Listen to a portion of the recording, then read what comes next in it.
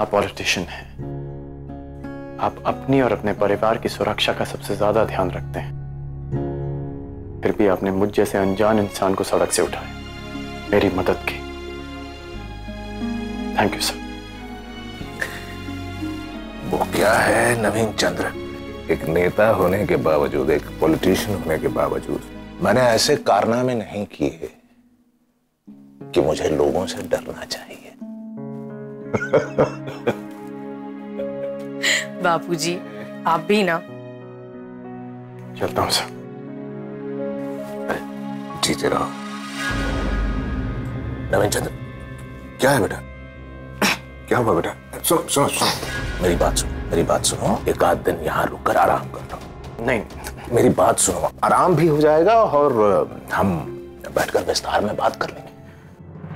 तुम कहाँ हो? अब तो हम यहीं का समझ लीजिए। घर परिवार। आप लोगों ने घर वालों की तरह मेरा ध्यान रखा तो। अब यही मेरा घर परिवार जैसा लग रहा है।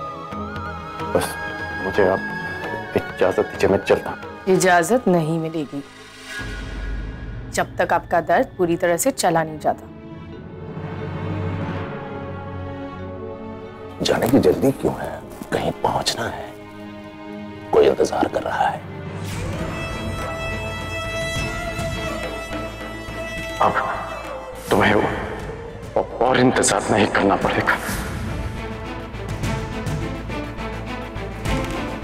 कहीं पहुँचने की जल्दी नहीं। क्योंकि मेरा कोई इंतज़ार नहीं कर रहा। बस।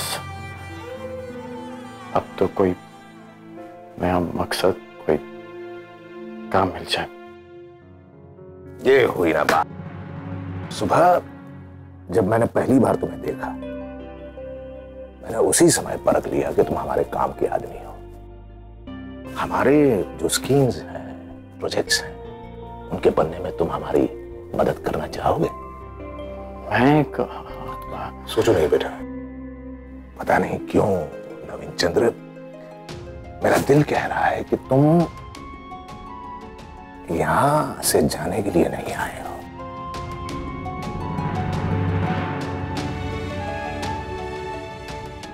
मेरा ये प्रस्ताव नौकरी नहीं, बल्कि तुम्हारी काबिलियत को दी हुई इज़्ज़त है।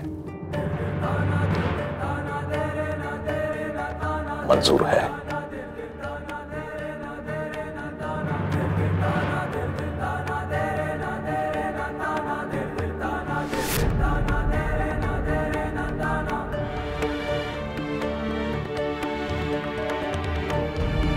मंजूर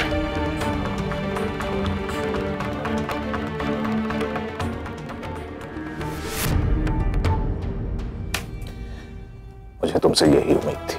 हालाँकि पाँव छूने के लिए तुम जब झुके तो पल भर के लिए मुझे लगा तुम यहाँ से वापस जाना चाहते हो। आप एकदम सही कह रहे थे कि मैं यहाँ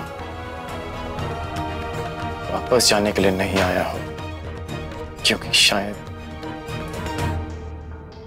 मेरी किस्मत मुझे यहाँ तक ले आई। ताकि मैं एक नई शुरुआत कर सकूँ। अपने पैरों पर खड़ा होकर अपनी पहचान बना सके। जी नवीन चंद्र। मैं तुम्हें विश्वास दिलाता हूँ कि ये नौकरी तुम्हें अपनी पहचान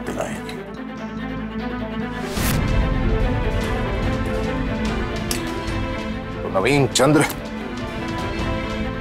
बुद्धिधन धर्माधिकारी के घर तुम्हारा बहुत बहुत स्वागत है। थैंक यू सर अरे कुमुद बेटा तू यहाँ क्या कर रही है? थैंक यू आओ मेरे साथ। पड़ोस की औरतों के आने का समय हो गया बेटा। चल जल्दी तैयार हो जा। लगता है मेरे जाने से पहले ही चला गया। जाने कौन था?